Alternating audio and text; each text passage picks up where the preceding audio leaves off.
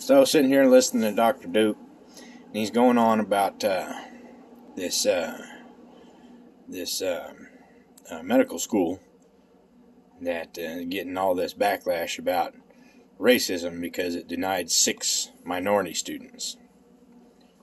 Okay, they have ten thousand seats. I mean, ten thousand applications, right? Ten thousand. Ten thousand people, right?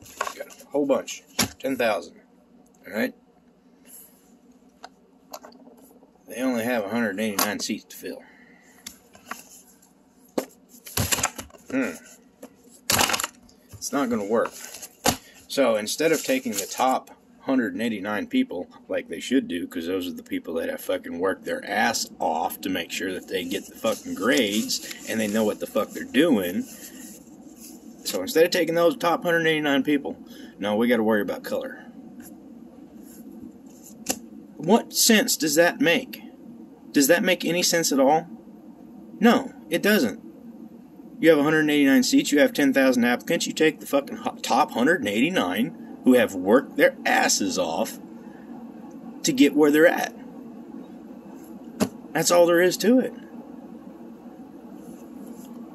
Quit coddling. Quit coddling people. People have to learn how to freaking take rejection. You're not gonna fucking win every time. And yes, I'm talking to myself because I, I am the fucking worst when it comes to taking rejection. All right? Ask a lot of people. You'll see a lot of shit on here, man. I don't take rejection worth shit. So, yeah.